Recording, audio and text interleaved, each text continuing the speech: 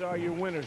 Willows Run was the location today for something really kind of fun. The green fees, the price of Jeff Cirillo's batting average. Not bad. 239. That's the batting average for Jeff Cirillo. $2.39. You play 18 holes, and Cirillo was being a good sport about it.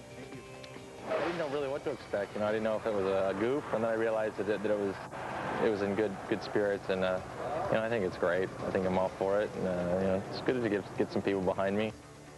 I want to add that Cirillo has really picked it up at the plate over the last couple of weeks. It's basketball. It is the Eastern Conference playoffs and the finals, and those New Jersey Nets have a guy by the name of